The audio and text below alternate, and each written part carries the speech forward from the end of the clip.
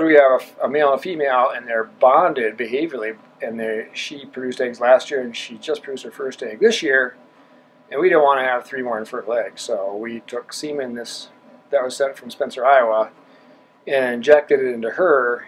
And so her next few eggs, we hope, two of the three that remain will probably be fertile. That's our hope.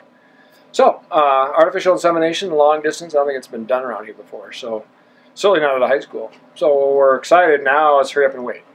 So, probably 10 days from now, we should have four eggs total clutch. And then uh, 20 more days, we'll see if they're fertile. Well, we hatch them here behind me in these machines.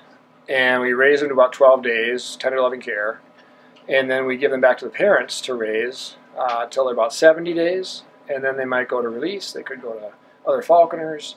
They might go to breeders and other breeding facilities. So we've probably produced, I think it's over 60 peregrines at this facility, as well as some hybrids. Um, and the hybrids that we produced a couple years ago were actually used to chase gulls off the runways, which was pretty creative.